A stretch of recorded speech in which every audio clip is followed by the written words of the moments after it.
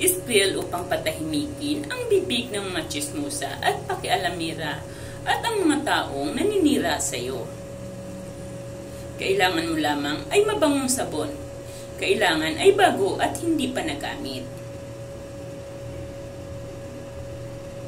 Puting kandila at kahit anong panulat upang ukit, kahit perdible lang ay pwede.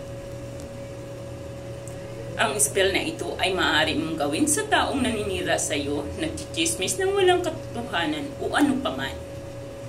Sa sabon, iukit ang kanyang pangalan. Kailangan ay malinaw ang iyong pagkakaukit. Kailangan ay buong pangalan. Habang inumpisahan mo itong gawin, kailangan ay nakasindi na ang iyong puting kandila at huwag ding kalimutang iukit ang kanyang kapanganakan. Sa baba, kung saan nakaukit ang kanyang pangalan at kapanganakan ay iukit mo, pinapatikim ko ang iyong bibig sa paninira laban sa akin. Gamit ang sabon na ito, sa tuwing ikaw ay maliligo kada araw, gamitin mo ito. Habang kinukuskus mo ito sa iyong buong katawan, banggitin ang kanyang pangalan at sabihin. Ikaw ay titigil sa pagkakalat ng hindi magagandang salita laban sa akin. Titigil ka sa paninira sa akin. Titigil ka sa pagsasabi ng mga kasinungalingan laban sa akin.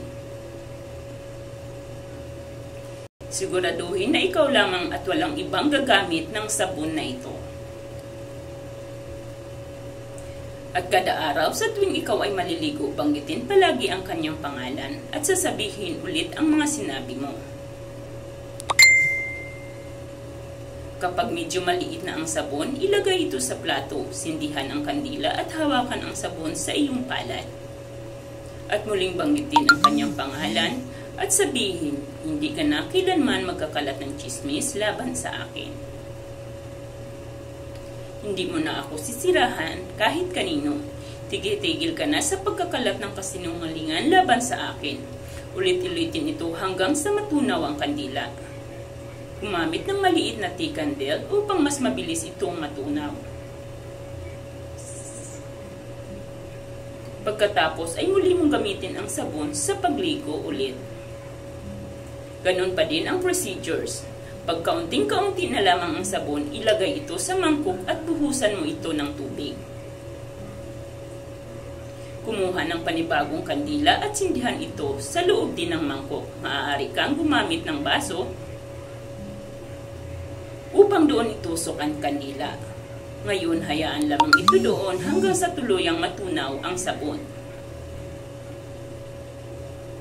Pag natunaw na ang sabon, kuhanin ang tubig at i-flush ito sa toilet ng tatlong beses. Tatlong beses po. Sigurado ako, pag ginawa niyo itong spell na ito, ay garantisadong epektibo, walang mintis. Subukan mo ito at makikita mo ang magandang resulta. Maraming salamat sa panunood. Please like and subscribe.